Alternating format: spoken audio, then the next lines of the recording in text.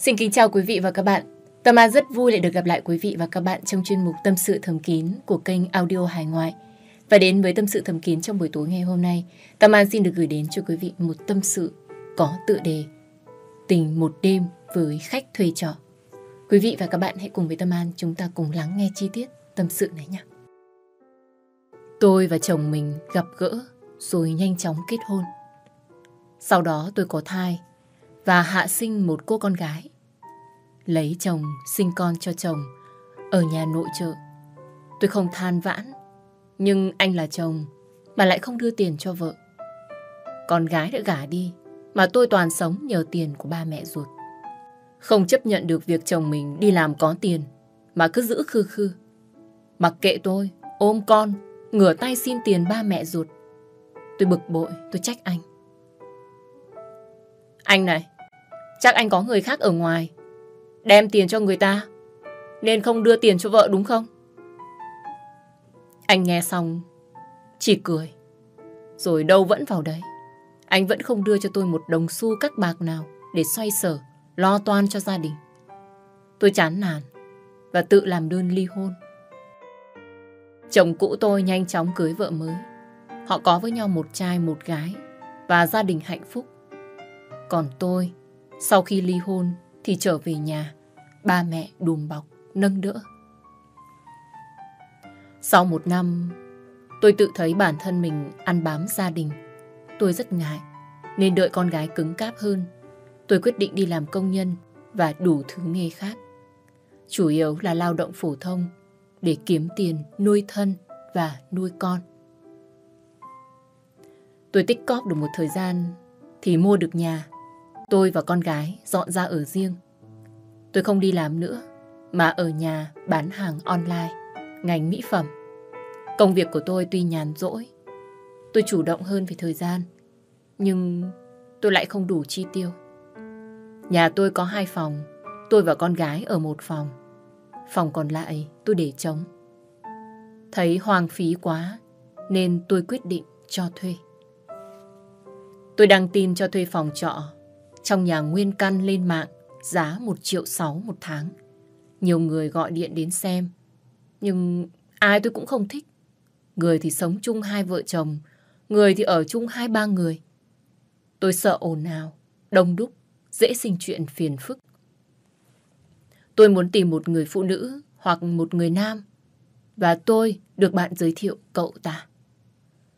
Người thuê trọ năm nay 32 tuổi, nhỏ hơn tôi 10 tuổi, quê ở Tiền Giang. Vừa nhìn, tôi đã thấy thuận mắt, nên đồng ý chấp nhận cho thuê ngay. Chớp mắt mà đã ba năm, ngày cậu thanh niên đó đến thuê trọ. Thật tình, lâu ngày tiếp xúc, tôi bắt đầu nảy sinh tình cảm với người đó. Từ khi ly hôn đến nay, tôi không yêu ai hết. Cũng có vài người thích tôi, nhưng tôi không có tình cảm, nên không tìm hiểu.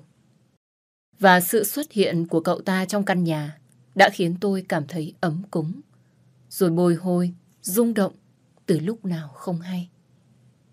Nhưng tôi nhỏ hơn cậu ấy những 10 tuổi, đã từng có một chồng và có một cô con gái lớn 15 tuổi, nên tôi không dám thổ lộ với cậu ta. Sinh hoạt của cậu ta rất thất thường. Một tháng chỉ ở nhà tôi khoảng 10 ngày. 20 ngày kia không biết đi đâu làm gì. Đôi lúc lại còn đi qua đêm. Có khi 1-2 giờ sáng mới về. Lần nào cũng nhỏ nhẹ, gión rén. Sợ làm tôi và con gái thức giấc. Một ngày nọ cậu ta về và xách trên tay một chiếc bánh kem cùng với vài lon bia.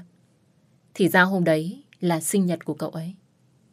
Tối hôm đấy cậu ta mời tôi sang phòng cậu chơi. Tôi tự hỏi, một ngày đặc biệt như vậy, sao cậu ta không đi chơi với bạn bè hay là với bạn gái? Mà cậu ta chưa có bạn gái nhỉ? Sau đó tôi sang phòng cậu ấy.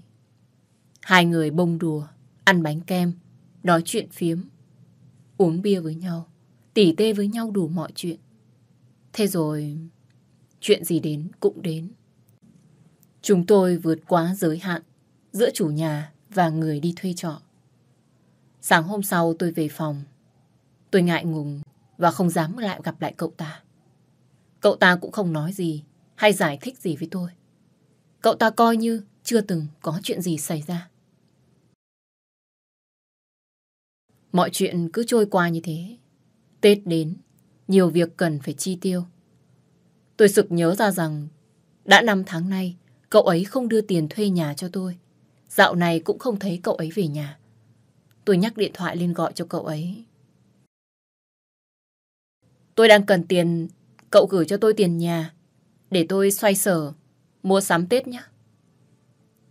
Thế là cậu ta cũng hẹn vài ngày vì cũng đang kẹt tiền. Tôi liên hệ với người bạn giới thiệu cậu ấy đến thuê nhà cho tôi. Tôi hỏi thăm thì được biết cậu ấy đã có bạn gái. Họ làm chung công ty với nhau. Cứ sáng cậu ấy đến đưa bạn gái đi làm. Chiều về, ghé lại, ngủ qua đêm ở đó. Lâu lâu thì về nhà tôi ngủ thôi. Tôi cảm thấy bản thân mình đang bị lừa. Lừa cả tiền lẫn tình. Nên không biết có nên đến công ty hay qua nhà bạn gái cậu ấy đòi tiền hay không. Nghĩ mãi tôi cũng thấy kỳ nên thôi. Và cậu ta đã về và có trả cho tôi một nửa tiền nhà. Thật sự tôi thấy ấm ức lắm vì cái lần đi quá giới hạn đó với cậu ta. Tại sao cậu ta lại làm vậy với tôi trong khi đã có bạn gái? Nếu không có tình ý gì, tại sao lại mời tôi sang phòng chơi rồi uống bia để xảy ra cớ sự này?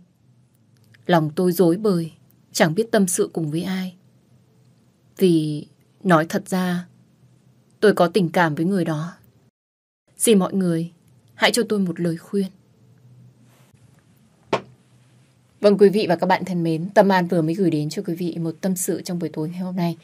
Và sau khi lắng nghe xong cái tâm sự này thì Tâm An có đôi điều uh, muốn góp ý chân thành đến với chị.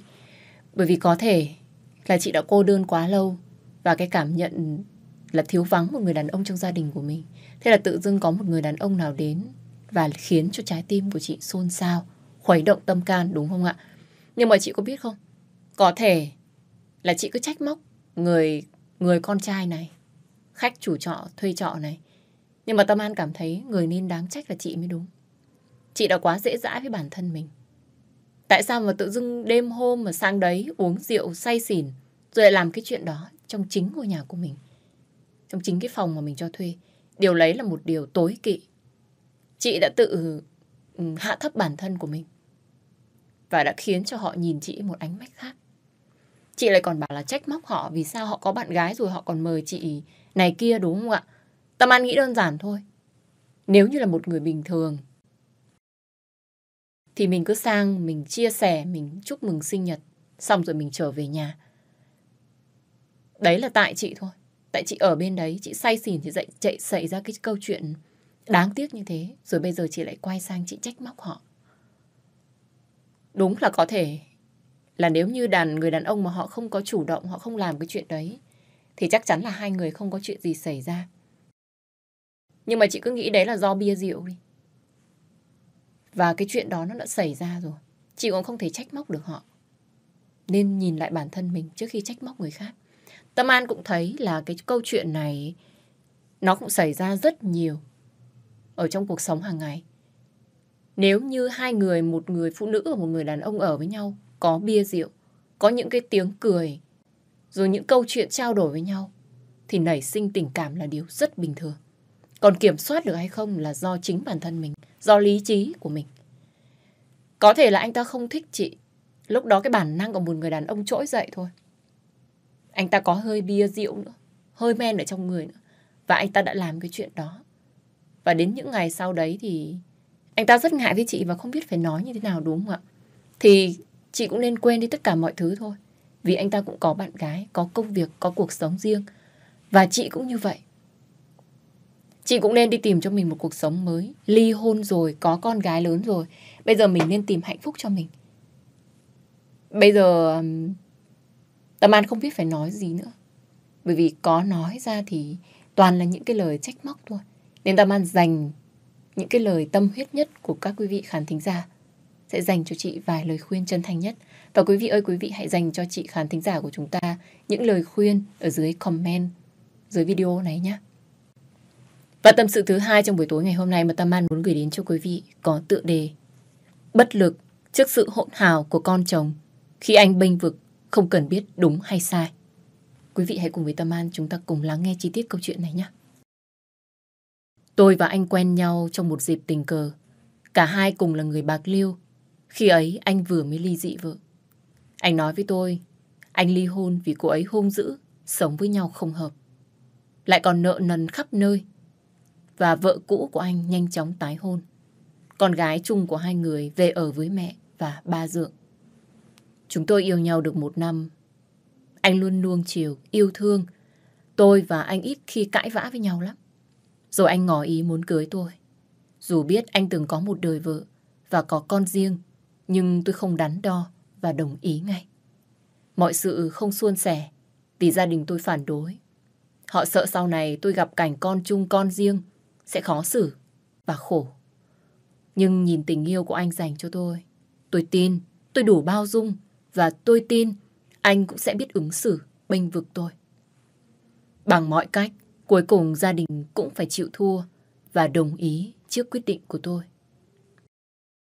Cưới nhau xong, tôi nhanh chóng có thai và chỉ ở nhà làm nội trợ. Còn anh, anh đi làm ở Cà Mau, một tuần chỉ về nhà được 2 đến 3 ngày. Tôi không đi làm nên toàn bộ gánh nặng kinh tế đặt hết lên vai của anh. Anh không đưa tiền tôi hàng tháng, mà lâu lâu anh hỏi tôi còn tiền không mới đưa. Tôi không trách, tôi không dò hỏi tiền lương của chồng, vì biết anh còn phải đang trả nợ do vợ cũ để lại. Đến khi tôi sinh con được vài tháng, có lần chồng tôi thỏ thẻ. Con gái anh sống với ba dượng không được, con nói ba dượng hay đánh con. Mẹ và ba dượng lại thường đi đánh bài, không có ai ở nhà với con. Tôi nghe như thế, thấy thương con bé. Nên tôi mũi lòng. Hay là chồng đưa con bé về đây, ở chung với em. Khi ấy tôi không nghĩ dạy dỗ một đứa trẻ là vô cùng khó khăn. Tôi chỉ nghĩ đơn giản là con anh cũng chính là con của tôi. Tôi sẽ yêu thương con bé, không khác gì con mình. Vậy là anh sang nói chuyện với vợ cũ, rồi chở con bé về nhà. Ban đầu con bé rất ngoan, ăn nói lễ phép, chăm học, thành tích học tập cũng khá. Nhưng lâu dần thì bộc lộ tính nghịch ngợm, thích sống bừa bộn. Bày xong lại không tự dọn dẹp, nên tôi phải nhắc. Bé nó không nghe, thế nên tôi bắt đầu nạt nộ nó. Rồi nó bắt đầu thái độ hỗn hảo với tôi. Tôi không la dày được, nên tôi có nói với chồng. Anh không thông cảm tôi ở nhà chăm con cực khổ. Anh không răn đe nó, không muốn dạy dỗ nó, mà anh còn quay sang trách tôi. Anh bảo với tôi là tính toán với con nít. Rồi nói tôi đủ thứ. Lại còn giận hơn vì nghĩ tôi phân biệt con chồng. Nhưng anh đi làm không ở nhà thường xuyên nên bé có nghịch ngợm anh cũng không thấy. Anh cho rằng tôi khó chịu vì phải chăm con riêng của anh. Anh không nghĩ tôi còn phải trông nom con gái nhỏ mới 12 tháng tuổi lại còn phải lo ăn, lo mặc dạy dỗ con gái lớn 7 tuổi. Không thông cảm thì thôi lại còn nghĩ xấu cho tôi. Có lần tôi nói với anh chuyện bé không ngoan, thì anh thẳng thừng la tôi trước mặt con bé. Từ đó con bé thấy có người bênh vực, nên càng tỏ thái độ, hỗn hào hơn trước. Tôi nói gì cũng nạt lại, không nể nang. Tôi nói một câu, bé nó trả lời mấy câu. Thật không hiểu, chồng tôi nghĩ gì lại làm điều này trước mặt con bé, để con bé xem thường tôi. Sau này làm sao tôi có thể dạy dỗ nó được. Còn mỗi lần con bé đi chơi với con tôi thì được một lúc con tôi liền ré khóc. Bé nói Em này không phải là em của con. Con không có em. Thật ra lúc đấy tôi buồn lắm. Thật sự tôi xem con bé như con ruột của mình. Mà bé lại không thương em. Nhiều lần con bé nó không ngoan tôi nói với anh. Anh tỏ thái độ nghĩ tôi phân biệt con riêng con chung. Tôi phân tích với anh ấy rằng em không phải là người như vậy. Nếu nghĩ như vậy thì ngay từ đầu Em đã không phải là người đề nghị anh đưa con về sống chung. Nhưng anh lại gạt ngang. Em đừng có kể công. Chồng tôi càng ngày càng trở nên bảo thủ. Cái gì anh cũng bắt tôi phải làm theo ý anh, dù đúng hay sai. Tôi biết anh đi làm quá nhiều áp lực. Một mình anh lo bốn miệng ăn, lại còn trả nợ do vợ cũ để lại. Về đến nhà còn nghe tôi than phiền con riêng, nên đâm ra cáu gắt. Nhưng anh có nghĩ, tôi cũng vô cùng mệt mỏi vì chăm con nhỏ, nuông chiều con lớn. Nó lại còn hỗn hào. Anh không biết cách cư xử. Anh nhiều lần la mắng tôi, bênh con trước mặt tôi. Thì tự hỏi, làm sao nó sợ tôi? Làm sao mà nó tôn trọng để tôi có thể dạy dỗ được con bé nên người? Xin mọi người hãy cho tôi một lời khuyên. Vâng, kính thưa quý vị, lại là một tâm sự về chuyện gia đình, con riêng và con chung. Tâm An đã gặp rất nhiều cái cảnh tượng này ở, ở bên ngoài. Và có thể rằng cái những cái câu chuyện mà nó diễn biến ở bên ngoài nó còn phức tạp hơn là những câu chuyện và những cái tâm sự mà khán thính giả gửi đến cho tâm sự thầm kín. Bởi vì có những cái câu chuyện mà khiến chúng ta phải đau đầu nhức óc và không biết phải làm như thế nào, ứng xử như thế nào cho đúng đắn. Một gia đình thì cần phải có sự đồng lòng đồng thuận của hai vợ chồng thì mọi thứ mới có thể hạnh phúc và trọn vẹn được. Tâm An cảm thấy như thế này. Có thể là do áp lực về đồng tiền đã khiến cho anh chồng của chị không được cái suy nghĩ thấu đáo và đang nghĩ xấu về chị. Nhưng mà chị có nghĩ được rằng bản thân của mình đã làm đúng chưa? Bản thân của mình đã hết lòng với cô bé chưa? Hay là mình vẫn đang chỉ là ghét bỏ con bé và muốn chồng mình đứng ra bênh vực mình một lần trước mặt con bé hay không? Thật ra những người, những cô bé hiếu động là những cô bé rất nhạy cảm và thông minh. Thế nên cái việc đầu tiên là chúng ta phải nhỏ nhẹ, dịu dàng và bảo ban, chứ không thể nào mà cáu gắt hay là đe dọa bọn trẻ được.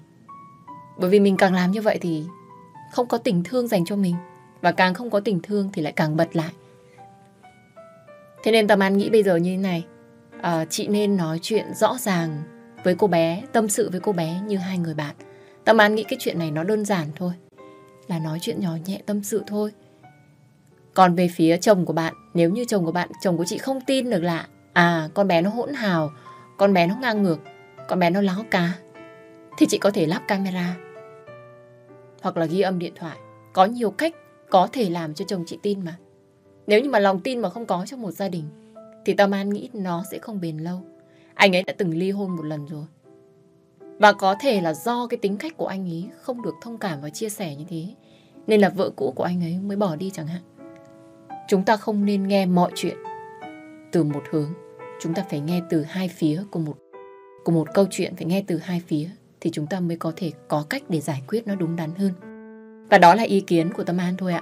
Còn quý vị thân mến, quý vị có đồng ý với ý kiến của Tâm An hay không? Nếu như quý vị không đồng ý với ý kiến của Tâm An thì hãy comment ý kiến của mình dưới video này nhé. Tâm An và ban biên tập của Đình Tùng Media rất vui nếu như được nhận được những đóng góp ý kiến của tất cả quý vị. Còn bây giờ thì cho phép Tâm An xin được chào tạm biệt quý vị. Hẹn gặp lại quý vị vào những tâm sự tiếp theo. Chúc quý vị có một buổi tối ngon giấc. Xin chào và hẹn gặp lại.